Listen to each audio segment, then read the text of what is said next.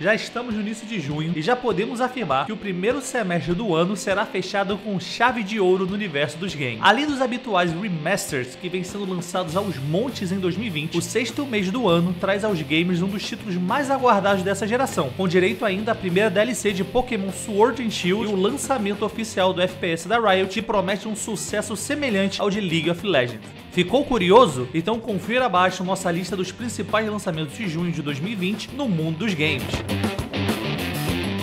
Junho já chega com os dois pés na porta com o aguardadíssimo lançamento global de Valorant, FPS da Riot que tem tudo para se tornar a mais nova febre do cenário competitivo de esports. Combinando elementos de dois grandes sucessos do gênero, como Counter-Strike e Overwatch, Valorant tem uma resposta extremamente positiva do público durante o período em que permaneceu sob status de beta fechado, o que serviu para aumentar ainda mais todo o hype que gira em torno do seu lançamento.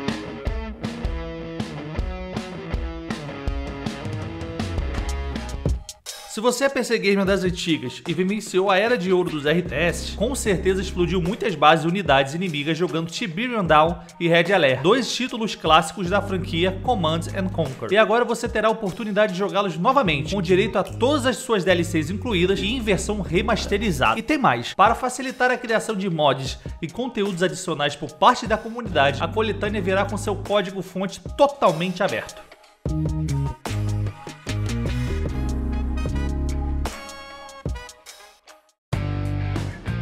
Mesmo que não se trate exatamente uma novidade, visto que The Outer Worlds encontra-se disponível para PC, Xbox One, PlayStation 4 desde outubro do ano passado, não dá para ignorar o peso de um lançamento desse calibre para o Nintendo Switch, console que recebe apenas uma parte dos grandes títulos multiplataforma. Para quem não sabe, The Outer Worlds é um RPG em primeira pessoa desenvolvido por uma equipe que participou do processo de criação do aclamadíssimo Fallout New Vegas. E repetir a fórmula de sucesso do clássico da Bethesda parece ter dado muito certo, visto visto que o jogo chegou a concorrer ao Game of the Year de 2019.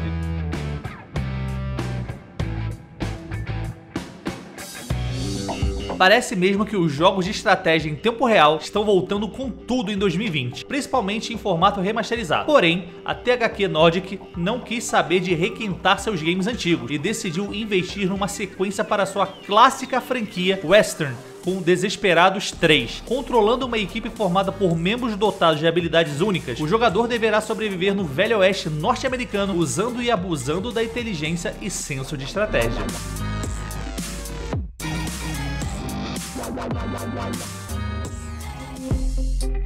Desenvolvido pelo estúdio V1 Interactive de Marcos Leto, um dos principais nomes envolvidos na criação da franquia Halo, Desintegration promete apresentar um novo conceito que mistura elementos de shooter com estratégia em tempo real. Enquanto o jogador sobrevoa o cenário em primeira pessoa a bordo de um Gave Bike com ampla visão e mobilidade, uma equipe que o acompanha por terra segue seus comandos e participa da linha de frente do combate. Tudo isso com direito ainda a um modo multiplayer. Será que vinga?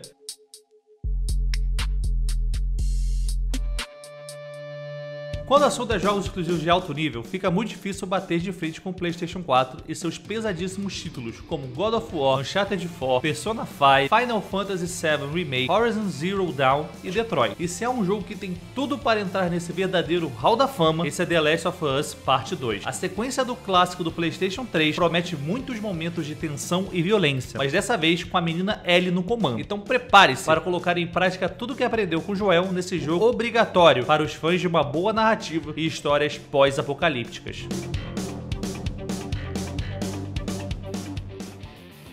Quando ficamos sabendo sobre o desenvolvimento de jogos baseados em animes shonen, como One Piece, Naruto ou My Hero Academy, já imaginamos um título de luta de qualidade bastante duvidosa, embora haja ótimas exceções. Mas dessa vez, a Gus Densetsu Games resolveu surpreender ao produzir um JRPG baseado no mangá anime de sucesso, Fairy Tail. Com o estilo de combate por turnos que lembra muito a série Persona, o game promete habilidades especiais devastadoras e muitas horas de jogatinas.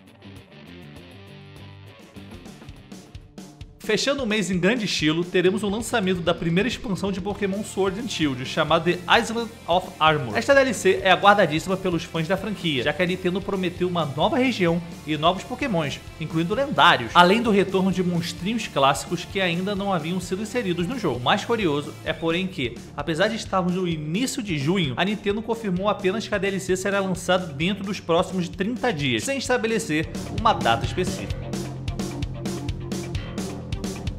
E aí, está ansioso para os lançamentos de junho de 2020? Sentiu falta de algum título interessante na lista? Então deixa seu comentário, interaja conosco, deixa seu like no vídeo e até o próximo Bendica!